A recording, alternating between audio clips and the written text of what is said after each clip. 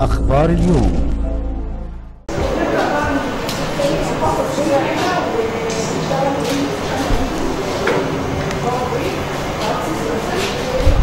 بس هم إيه احتياجهم لكل آه هو إيه احتياجهم؟